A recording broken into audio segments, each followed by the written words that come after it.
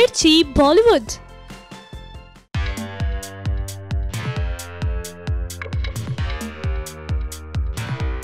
सलमान खान पर काला हिरण शिकार मामले में आए फैसले ने देश भर को चौंका कर रख दिया है।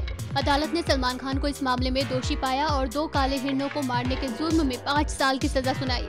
इसके बाद देश भर से अलग अलग तरह के रिएक्शन सामने आ रहे हैं। कुछ लोग कह रहे हैं कि न्याय की जीत हुई है तो कुछ लोग कह रहे हैं कि सलमान खान को मिली सजा गलत है। इस बीच अगर बॉलीवुड फ़िल्म इंडस्ट्री की बात की जाए तो वो पूरी तरह से सलमान खान और उनके परिवार के साथ खड़ी नज़र आ रही है। एक के बाद एक बॉलीवुड सितारे सलमान खान के फेवर में कमेंट करते नज़र आ रहे हैं। अगर बात करें वरुण धवन की तो उन्होंने अपने ट्विटर अकाउंट पर लिखा, जहाँ तक मुझे पता है, सलमान भाई और उनका परिवार भारतीय कानून की तहे दिल से इज़्ज़त करते हैं। सलमान खान को जितना मैं जानता हूँ, वो बहुत ही मज़बूत और सच्चे इंसान हैं। मुझे पूरा यकीन है कि वो इन सारी चीज़ों से और ज़्यादा मज़बूत होकर सामने आएँगे। अगर बॉलीवुड के गलियारों से आ रही खबरों की माने तो जिस दिन सलमान खान की बेल हियरिंग होगी, उस दिन प्रोड्यूसर साजिद नाडियाडवाला अरबाज खान और सोहेल खान सलमान खान के साथ कोर्ट में मौजूद होंगे।